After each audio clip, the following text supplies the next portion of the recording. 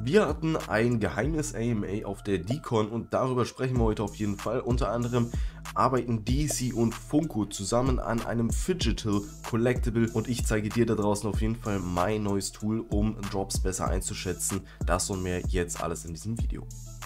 Moin Moin und willkommen an Bord, ich bin's dein Captain und heute am Steuer mit diesen sehr coolen Themen und auch noch sehr viel mehr. Deswegen bleib auf jeden Fall unbedingt bis zum Ende dran und ansonsten, wenn dir mein Kanal gefällt, würde ich mich natürlich auch sehr über ein Like von dir da draußen freuen. Und ansonsten würde ich aber sagen, starten wir direkt rein ins Video.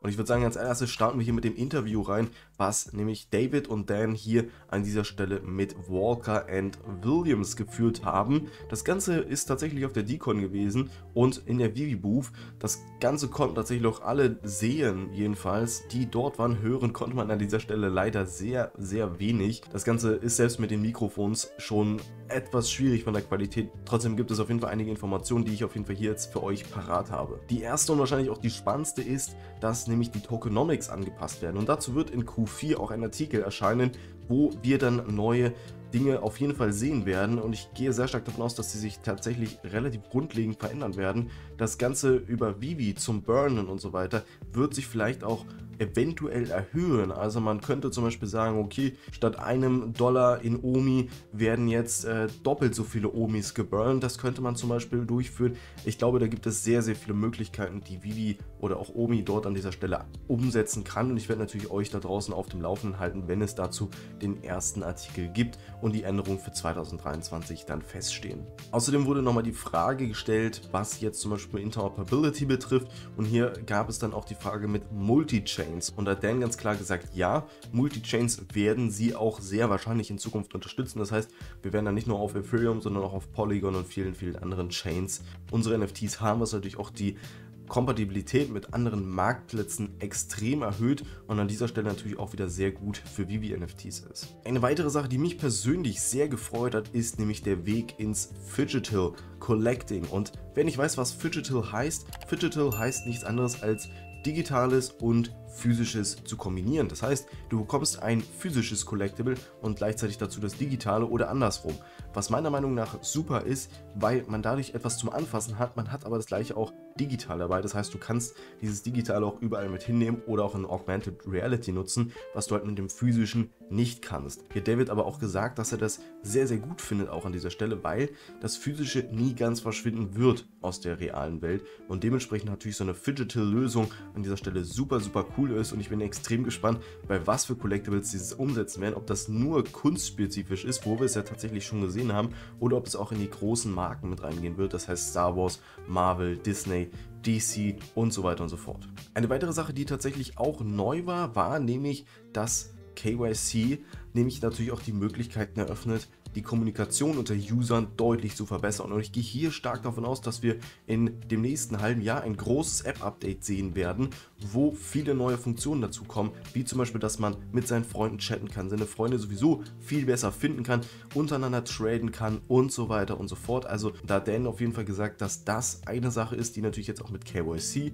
dadurch, dass weniger Botter da sind und auch weniger Fake-Accounts, dann natürlich auch möglich ist und hier halt einfach volle Sicherheit garantieren möchten für die User. Wir wissen natürlich alle, dass man für 30 Euro zwei KYC-Accounts aus Polen oder aus äh, sonst woher kaufen kann. Es ist natürlich an dieser Stelle schwieriger für jemanden dann das Ganze zu machen. Es ist dennoch aber möglich. Aber allein dieser Fakt, dass man dann endlich mal nach äh, Jahren mehr oder weniger wirklich dann auch mal mit seinen Freunden intern chatten kann, freut mich auf jeden Fall sehr und ich bin auf jeden Fall gespannt, wann das Ganze rauskommen wird. Du kannst mir sehr gerne deine Meinung zu diesem ganzen Interview dann hier in die Kommentare schreiben. Und was ich am Ende jetzt nochmal sagen muss und was mir öfters aufgefallen ist, wie oft David Yu betont hat, was für First Editions oder was für First Appearance wir auch teilweise hier auf Vivi haben und wie exklusiv das Ganze ist, das muss man auch einfach mal rückblickend so sehen. Er hat natürlich auch gesagt, die Collectibles, die natürlich in Season 1 gedroppt sind oder auch die sowieso First Appearance, First Edition mäßig gedroppt sind, werden super interessant werden in 4, 5, 6, 10 Jahren. Aber bis dorthin müssen wir erstmal kommen. Ich gehe sehr stark davon aus, dass wir bis dorthin kommen werden. Aber wer bis dahin durchhält, der wird, glaube ich, sehr belohnt. Ansonsten würde David Yu das an dieser Stelle nicht so oft betonen und so einen großen Wert auch drauf legen. Also ich muss sagen, ich glaube, ich habe das auf der Decon mindestens 5, 6 Mal gehört und wirklich jedes Mal mit einer Betonung, wo man sich wirklich gedacht hat, ähm, da muss irgendwas kommen oder wird auch irgendwas kommen und das wird auch extrem entscheidend sein für einen Sammler in Zukunft. Ich werde euch natürlich da draußen das ganze Interview einmal unten verlinken, das heißt, dann könnt ihr euch das Ganze auf jeden Fall nochmal rückblickend anschauen. Das ist natürlich alles in Englisch, aber ansonsten hier meine kleine Zusammenfassung. Und ansonsten hatten wir schon gestern die Diskussion über DC Comics und jetzt, gerade gestern, ist auch ein Video von Kyle Wilson rausgekommen, wo er nämlich hier das Ganze zeigt. Funko teams up with Warner Brothers for DC Comic NFT Release. Und das ist tatsächlich nicht mal ein Comic, was man einfach mal so in die Ecke stellen sollte, denn wir reden hier von einem Comic, was doch schon ähm, ja, sehr, sehr teuer ist. Wir reden hier schon so von 25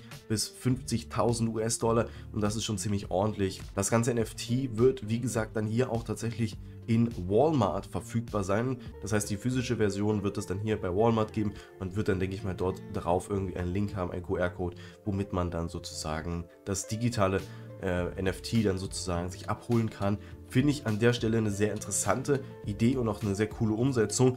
Es ist natürlich an dieser Stelle ein kleiner Schlag für Vivi. Das heißt, wir haben auf jeden Fall an dieser Stelle nicht die ersten DC-Comics dann auf Vivi. Und wir sehen das Ganze hier tatsächlich mit Funko zusammen.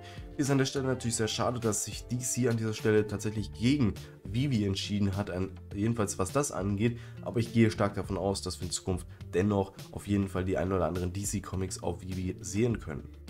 Ansonsten schauen wir uns mal den nächsten Drop an und zwar nämlich den nächsten Collectible Drop von Disneyland Paris. Und das Ganze wird am Sonntag um 17 Uhr deutscher Zeit droppen, insgesamt mit 5 Collectibles im Blindbox-Format. Das Ganze wird hier einmal, wie gesagt, animiert sein, was ich an dieser Stelle sehr, sehr cool finde.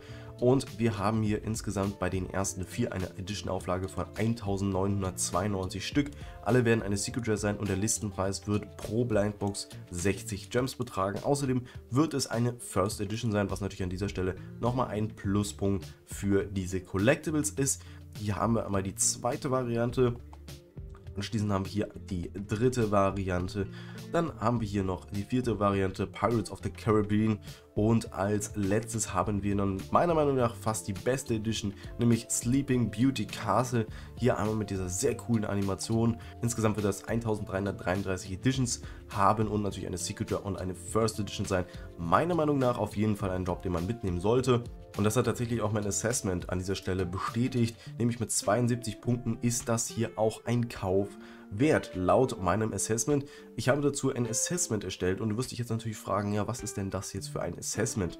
Und das ist im Prinzip, ja, wenn man das so haben möchte, ein Tool, wo ihr sozusagen emotionsunabhängig entscheiden könnt, okay, wie schätzt ihr das NFT ein und am Ende kommt eine Punktzahl raus, wo ihr dann sozusagen einschätzen könnt, ist das Ganze jetzt hier ein Kauf wert oder ist das eher ein Gamble, ein Skip oder generell eher vom Kauf sowieso abzuraten, weil das komplett unter den Droppreis geht. Und ich würde sagen, das schauen wir uns mal ganz kurz an. Ich werde euch den Link zu diesem ganzen Tool einmal unten in die Videobeschreibung packen. Dann könnt ihr euch das selber mal anschauen und für euch ausprobieren. Und wenn ihr dort irgendwelche Verbesserungsvorschläge habt oder Ideen habt, wie man das Ganze noch optimieren kann oder wie man das zum Beispiel hier nochmal besser aufteilen könnte von den Prozenten, schreibt mir das auf jeden Fall unbedingt in die Kommentare. Das würde mich auf jeden Fall sehr freuen, denn das Tool ist natürlich nur von mir momentan entwickelt. Ich bin natürlich an dieser Stelle auch auf euch von eurem Feedback abhängig, dass das besser und noch präziser wird. Aber ansonsten haben wir auf jeden Fall insgesamt sieben Dinge, die auf jeden Fall hier Einfluss nehmen auf das ganze